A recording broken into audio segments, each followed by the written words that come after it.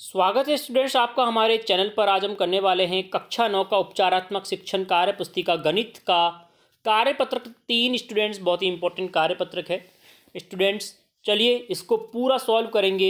ये नए वाला कार्यपत्रक है 2024 वाला, जिसमें हम सारे प्रश्नों को हल करेंगे डिटेल में। तो देखते हैं स्टूडेंट्स कार्यपत्रक नंबर तीन क्या कहता है। संख्या संबंधी अवधारणाएँ हैं, इसमें पूर्ण वर्ग संख्या और वर्गमूल और हमें वर्ग निकालना सीखना है। जैसे कि हमें पता है पूर्णवक संख्या क्या होती है? पूर्णवक संख्या जैसे कि एक गुना एक एक, दो गुना दो चार, तीन गुना तीन मतलब उसी संख्या को उसी संख्या से गुना करने पर जो संख्या प्राप्त होती है, वह पूर्णवक संख्या कहलाती है स्टूडेंट्स ठीक है? जिसमें देखिए स्टूडेंट्स पहला प्रश्न क्या है? पूर्णवक संख्या इनमें से कौन सी है? तो कौन सी हो जाएगी? सोलह हो जाएगी, क्योंकि ये चार गुना चार करने पर सोलह आता है तो ये क्या हो जाएगा? बहत्तर हो जाएगा। अगला देखिए पूर्ण वर्ग संख्याओं को समूह देखिए इसमें स्टूडेंट्स यहाँ पे देखिए, दो नहीं होता है। ये एक, चार और नौ तीनों हैं। इसमें देखिए, अट्ठारह नहीं है और इसमें देखिए स्टूडेंट चालीस नहीं है। तो स्टूडेंट सबसे सटीक समूह कौन सा हुआ? ब हुआ एक, चार, नौ, जिसमें तीनों हैं तो ब उत्तर हो जाएगा। अगला देखिए, निम्न सारणी को पूरा करना है स्टूडेंट्स ग्यारह। ग्यारह गुना ग्यारह, एक सौ इक्कीस। बारह बारह गुना बारह, एक सौ चौवालीस। तेरह तेरह गुना तेरह, एक सौ उनहत्तर, वन सिक्सटी नाइन। एक, छः और नौ लिखना है स्टूडेंट्स यहाँ पे आपको। अगले देखिए, चौदह चौदह गुना चौदह, एक सौ छियानवे। पंद्रह गुना पंद्रह, दो सौ पच्चीस। सोलह गुना सोलह, दो छप्पन। सत्रह गुना सत्रह, दो सौ नवासी। अट्ठारह गुना अट्ठारह तीन सौ चौबीस। उन्नीस गुना उन्नीस, तीन सौ इकसठ और बीस गुना बीस, चार सौ। तो स्टूडेंट देखिए, बारह गुना बारह, एक सौ चौवालीस है। यदि आपसे पूछा जाए कि एक सौ चौवालीस का वर्ग क्या है तो बारह होगा। मतलब कि वर्ग का उल्टा होता है वर्गमूल। इसका वर्गमूल पूछेगा तो बारह लिखेंगे और बारह का वर्ग पूछेगा तो एक सौ चौवालीस लिखेंगे। ठीक है स्टूडेंट्स, इसका संकेत होता है इस प्रकार से। अगला देखिए स्टूडेंट्स, सारणी दी गई है, जिसमें हमें गुणनखंडों को देखते हैं। चार, पूर्ण संख्या है। गुणनखंड क्या हुए? दो गुना दो। सोलह के गुणनखंड कैसे होंगे स्टूडेंट्स? दो गुना दो गुना दो गुना दो गुना दो। मतलब कि चार बार दो गुना करते हैं तो सोलह आता है, छः, दो गुना तीन, छत्तीस कैसे आएगा? दो गुना दो, तीन गुना तीन। नौ, तीन गुना तीन, इक्यासी, चार बार तीन का गुना करने पर आता है। तो स्टूडेंट देखिए, चार है, दो स्क्वायर लिख सकते हैं, सोलह है, दो की घात चार लिख सकते हैं। मतलब कि जितनी घातें हैं, उतनी बार गुना करना है। दो गुना दो गुना दो गुना, दो। क्या आ जाएगा? सोलह आ जाएगा। ठीक है स्टूडेंट्स ये समझाने का इन्होंने प्रयत्न किया है। और एक चीज़ क्या समझाइए स्टूडेंट्स इन्होंने? आपको वर्ग पूछ रहा है सोलह का इस प्रकार से हम संकेत बनाते हैं, या फिर ब्रैकेट के ऊपर आधा लिख देंगे तो भी इसका मतलब यही होता है, स्टूडेंट्स। ठीक है? तीसरा देखिए स्टूडेंट्स, दो सौ पच्चीस का वर्गमूल ज्ञात करना है तो इसका संकेत लिख दिया है। पहले क्या करेंगे स्टूडेंट्स क्या भाज्य गुणनखंड निकालेंगे। दो सौ पच्चीस में तीस सबसे छोटी संख्या का भाग देंगे, जिस, किसका जाएगा? तीन का जाएगा। कितनी बार? पिचहत्तर बार। पिचहत्तर में तीन का जाएगा, पच्चीस बार। फिर पच्चीस में तीन का नहीं जाएगा, चार का नहीं जाएगा पाँच का जाएगा। पाँच का लगाएँगे, पाँच बार, फिर पाँच में पाँच का एक बार। तो स्टूडेंट इन जोड़ों, इन जितने भी हमारे अभाज्य गुणनखंड आए हैं, इनको अलग लिख देंगे वर्गमूल के अंदर। फिर इनके दो दो के जोड़े बनाएँगे, क्योंकि हमें वर्गमूल निकालना है स्टूडेंट्स तो तीन गुना तीन, पाँच गुना पाँच। एक जोड़े में से एक संख्या बाहर आ जाती है तो क्या होता है स्टूडेंट्स ये जो चिन्ह है, ये वर्गमूल है, ये हट जाता है। एक संख्या बाहर निकालनी है दो में से। दो में से एक संख्या बाहर, तीन, दो में से एक संख्या बाहर, पाँच। क्या हुआ? तीन पंजे पंद्रह। तो स्टूडेंट्स दो सौ पच्चीस का वर्गमूल क्या हो जाएगा स्टूडेंट्स पंद्रह हो जाएगा। स्टूडेंट इसी प्रकार से हमें आगे करना है। निम्न वर्गमूल के हमें निकालना है। निम्न का वर्गमूल निकालना है। पहला देखिए क्या है? आठ हज़ार सौ है। सबसे छोटी संख्या का भाग लगाएँगे। दो का लगेगा स्टूडेंट्स क्या आ जाएगा? चार हज़ार पचास। फिर दो का लगेगा। कितना आ जाएगा स्टूडेंट्स दो हज़ार पच्चीस। दो हज़ार पच्चीस में सबसे छोटी संख्या का भाग लगेगा तीन का।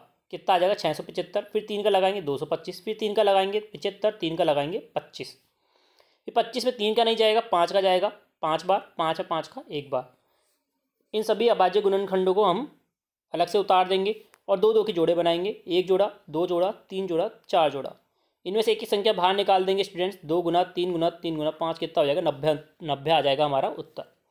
पाँच सौ उनतीस। स्टूडेंट पाँच सौ उनतीस में सबसे छोटी संख्या का भाग किसका जाता है? सिर्फ़ तेईस का जाएगा स्टूडेंट्स ना एक का जाएगा, ना दो का, तीन का, चार का, पाँच का छः किसी का नहीं जाएगा। सीधा तेईस का जाएगा। तो तेईस में तेईस का एक एक बार जाएगा, फिर तेईस का दोबारा तेईस में लगाएगा एक बार। तो स्टूडेंट्स क्या आ जाएगा? तेईस गुना तेईस, एक संख्या का बाहर निकाल देंगे तेईस तो मतलब कि पाँच सौ उनतीस का वर्गमूल कितना हो जाएगा? तेईस हो जाएगा। फिर है सत्रह सौ चौंसठ का, हमें वर्गमूल ज्ञात करना है अब आज गुणनखंड विधि द्वारा। तो स्टूडेंट देखिए दो का भाग लगाएँगे, आठ सौ बयासी, दो का लगाया चार सौ इकतालीस। चार सौ इकतालीस में फिर तीन का जाएगा, एक सौ सैंतालीस, तीन का जाएगा उनचास। सात का जाएगा सात बार, सात में सात का जाएगा एक बार। उतार देंगे जोड़े, एक एक संख्या बाहर निकालेंगे, दो गुना तीन गुना सात मतलब कि बयालीस। फिर स्टूडेंट्स हमारा भाग विधि द्वारा वर्गमूल निकालना। ये स्टूडेंट्स काफ़ी टिपिकल होता है, आपको बहुत ज़्यादा समझ की आवश्यकता होगी। स्टूडेंट देखिए छः सौ पच्चीस है। इसमें क्या होता है स्टूडेंट दो दो के जोड़े बनते हैं। इक्कीस स्थान से स्टार्ट करते हैं तो छः पच्चीस, फिर यहाँ पे क्या हो जाएगा, ज़ीरो छः यहाँ पे ज़ीरो से लगाया ताकि दो का जोड़ा बन जाए। तो स्टूडेंट देखिए, ज़ीरो छः ज़ीरो छः मतलब कि छः के सबसे पास में वर्ग कौन सा है? जिससे छोटा हो, वर्ग। छः से छोटा वर्ग कौन सा हो जाएगा? चार हो जाएगा स्टूडेंट्स चार के बाद स्टूडेंट वर्ग आता है नौ, जो कि बड़ा हो जाएगा छः से। छः से बड़ा हो जाएगा तो हम क्या उतारेंगे स्टूडेंट यहाँ पे चार उतारेंगे। मतलब कि दो गुना दो करने पर क्या आता है? चार आता है। इसी दो को ऊपर लिख देंगे और इन दोनों को प्लस कर देंगे, चार आ जाएगा। फिर स्टूडेंट देखिए, ये पाँच कैसे आया मैं आपको बता रहा हूँ। यहाँ से हमने ऊपर से नीचे उतारा तो ज़ीरो छः में से चार गए थे दो, ऊपर से दो जोड़े बाहर क्या बन गया? दो सौ पच्चीस बन गया। छः में से चार गए थे दो, और पच्चीस बचा है, पच्चीस हमने नीचे उतार दिया, दो सौ पच्चीस बन गया। अब स्टूडेंट देखिए, दो सौ पच्चीस। दो सौ पच्चीस या फिर दो सौ पच्चीस से छोटा कौन सा वर्गमूल है जो इसके बिल्कुल पास में है? तो स्टूडेंट्स पैंतालीस है। जैसे कि यहाँ पे चार लिखा हुआ है ऑलरेडी आप इकतालीस का करेंगे तो यहाँ पे जो संख्या आप लिखते हैं, उसी संख्या से इसका गुना भी होता है। तो स्टूडेंट्स क्या आ जाएगा? एक, और यहाँ पे इकतालीस ही आएगा। तो मतलब कि 225 के पास में नहीं आया। तो इसी प्रकार से फिर बयालीस करेंगे, कितना आ जाएगा? बयासी आ जाएगा, वो भी पास में नहीं है। फिर स्टूडेंट्स तैंतालीस किया आपने, तीन तिया नौ, तीन चौक बारह, एक सौ उनतीस आया, ये भी पास में नहीं है। फिर देखिए, चौवालीस करिए आप, चार चक सोलह, चार चक सोलह सत्रह, एक सौ छिहत्तर आया। फिर आप क्या किए? पाँच लगाया, पैंतालीस से, पचम पच्चीस, दो हासिल की, चार पंजे बीस और दो बाईस, दो सौ पच्चीस। मतलब कि आ गया, पाँच बार करते हैं तो आ रहा है। तो यहाँ पाँच लिख देंगे, पाँच ही नीचे लिखते हैं, ऊपर पाँच लिखते हैं। तो पाँच, पैंतालीस पंजे, दो सौ पच्चीस आया मतलब कि ज़ीरो आ गया। तो क्या हो गया स्टूडेंट, ऊपर वाली जो हमारी आई है, ये क्या हमारा भागफल विधि द्वारा वर्गमूल निकाल लिया गया है छः सौ पच्चीस का। तो छः सौ पच्चीस का भागफल विधि द्वारा कितना आ जाएगा स्टूडेंट्स? पच्चीस आ जाएगा। इसी हिसाब से हम प्रश्नों को सॉल्व करेंगे स्टूडेंट्स। हमको निम्न प्रश्न सॉल्व करने, ज़ीरो पॉइंट नौ, बारह पॉइंट पच्चीस बयालीस पॉइंट पच्चीस और चौदह हज़ार आठ सौ चौरासी। स्टूडेंट्स इन सभी का आपको बिल्कुल डिटेल में आपको बताने वाला हूँ। बहुत सारे लोगों ने कार्यपत्र डालने कि, किसी ने इसको समझाया नहीं है और कईयों ने गलत आदि सबने गलत डाल रखा है स्टूडेंट्स तो आप देखिएगा सबने गलत डाल रखा है किसी के भी चेक कर लीजिएगा। आप देखिए ज़ीरो नौ ज़ीरो पॉइंट नौ है। यहाँ पे आप ज़ीरो यहाँ पे आप लिखेंगे दो दो की जोड़े बनाने में आपको कहा था पहले ही तो यहाँ पे ज़ीरो ज़ीरो और यहाँ पे क्या लाया है? नौ। तो नौ के बाद में क्या ज़ीरो लगा देंगे स्टूडेंट्स दो दो की ज़ीरो बन गए, ठीक है? ज़ीरो ज़ीरो में कुछ नहीं होगा। तो यहाँ पे ज़ीरो लिखा पॉइंट का जगह पॉइंट लगाया, ठीक है? यहाँ पे हमारा नब्बे है। अब नब्बे नब्बे के, नब्बे या फिर नब्बे से कम, सबसे पास में वर्गमूल कौन सा होता है स्टूडेंट्स सबसे पास में वर्गमूल होता है इक्यासी। इक्यासी कैसे बनता है? नौ, नब्बे, इक्यासी। तो यहाँ पे नौ लिख देंगे, नौ से नौ का गुना किया तो इक्यासी आया। तो स्टूडेंट्स यहाँ पे क्या आ गया? इक्यासी आ गया। इक्यासी आ गया, नौ ऊपर लिख दिया आपने पॉइंट के बाद में। इन दोनों को जोड़ देंगे, नौ दूनी अट्ठारह। हमने इक्यासी लिख दिया। स्टूडेंट पॉइंट के बाद में ज़ीरो ज़ीरो और भी हो सकते हैं। तो हमें दो दशमलव तक निकालना है तो हम एक ज़ीरो का सेट और लिख देंगे यहाँ पे। कितना हो गया? नौ सौ हो गया। और नब्बे में से इक्यासी गए थे नौ। नौ सौ बन गया स्टूडेंट्स और यहाँ पे नौ और नौ जोड़े अट्ठारह आ गए। अब स्टूडेंट्स अट्ठारह में ऐसा क्या करें कि इसके पास में संख्या पहुँच जाए। अगर आप पाँच लिखेंगे तो ऊपर पहुँच जाएगी स्टूडेंट्स तो चार लिखेंगे तो कितना आ जाएगा? सात सौ छत्तीस आएगा। इसको क्या करना है? जोड़ देंगे, एक सौ अट्ठासी, घटाएँगे, एक सौ चौंसठ। हमें आगे करने की ज़रूरत नहीं है क्योंकि हमें दो ही दशमलव निकालने हैं। तो ज़ीरो पॉइंट नौ चार उत्तर आ जाएगा। मतलब कि ज़ीरो पॉइंट नौ का वर्गमूल कितना हो जाएगा भाग विधि द्वारा सॉल्व करने पर? ज़ीरो पॉइंट नौ चार। अगला देखिए स्टूडेंट्स, बारह पॉइंट पच्चीस। इसमें आपको बिल्कुल सही समझ में आ जाएगा। देखिए दो दो जोड़े बनाने ऑलरेडी बड़े, हमें जोड़े बने हुए मिले हैं। तो क्या लिखा हमने? बारह पॉइंट पच्चीस लिखा। अब देखिए, बारह के बारह या फिर बारह से छोटा वर्गमूल कौन सा होता है स्टूडेंट? नौ होता है। नौ के बाद होता है सोलह, जो कि क्या हो जाएगा? बड़ा हो जाएगा बारह से। तो हम क्या लिखेंगे? नौ लिखेंगे। यहाँ पे नौ लिख दिया। नौ बना कैसे? तीन तिया नौ। ठीक है? जोड़ा छः आया, तीन ऊपर लिख दिया, तीन तिया नौ, ठीक है? अब स्टूडेंट क्या करेंगे? बारह में से नौ गई तो तीन बचे। ऊपर से एक जोड़ा निकाल दिया, पच्चीस पॉइंट बीच में आया पॉइंट ऊपर लगा दिया। तीन सौ पच्चीस बन गया। अब देखिए क्या है यहाँ पे यहाँ पे हमारे पास छः तो स्टूडेंट्स अब तीन सौ पच्चीस या फिर तीन सौ पच्चीस के बगल में पहुँचना है हमें। तो एक से लेके आप तैयारी करेंगे, एक बार इकसठ आएगा, दो लगाएँगे। दो में दो का गुना किया, कितना आएगा स्टूडेंट्स एक सौ चौबीस आएगा, तीन का करेंगे, चार का करेंगे, पाँच का करेंगे। पाँच का जैसे ही करेंगे स्टूडेंट तीन सौ पच्चीस से पहुँच जाएँगे आप।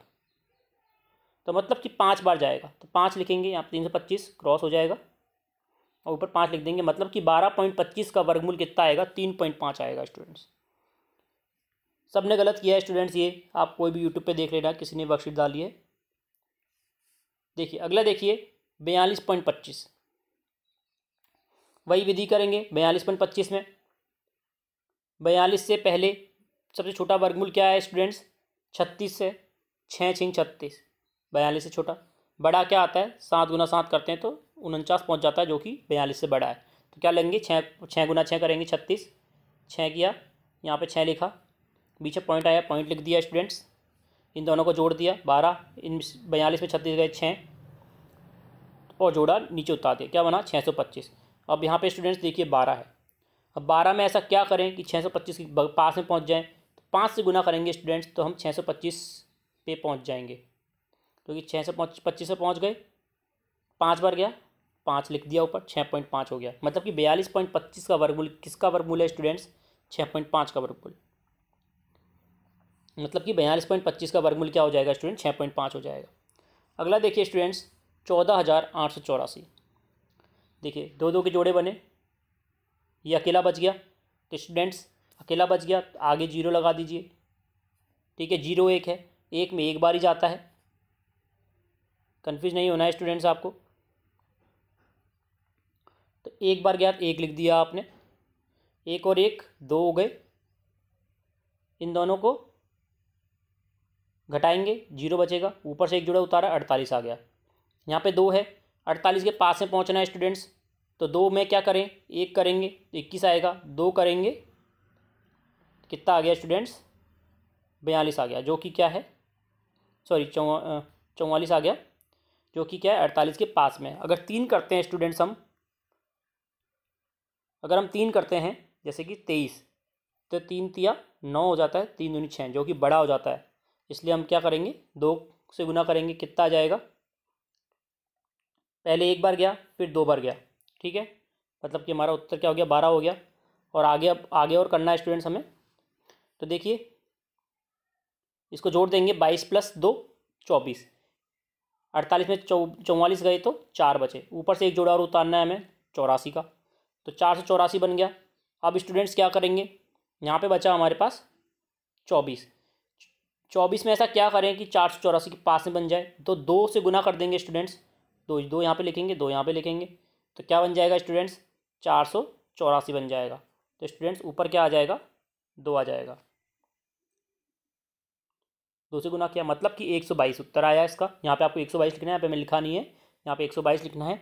मतलब कि चौदह हज़ार आठ सौ चौरासी का वर्गमूल क्या है स्टूडेंट्स? एक सौ बाईस है। इसका उत्तर ज़रूर लिख दीजिए कि स्टूडेंट्स आपको ऐसे कैसे उतारना है, एक सौ बाईस। मैंने आपको समझा दिया है, इसी प्रकार से ये समझाया जाता है स्टूडेंट्स थोड़ा टिपिकल होता है, फिर भी आप समझेंगे दो तीन बार तो आपको समझ में आ जाएगा। तो स्टूडेंट्स ये था पूरा सॉल्यूशन आपका वर्क आपके वर्कशीट नंबर तीन का। तो जुड़े रहिए चैनल से लाइक करें शेयर करें सब्सक्राइब करें। धन्यवाद।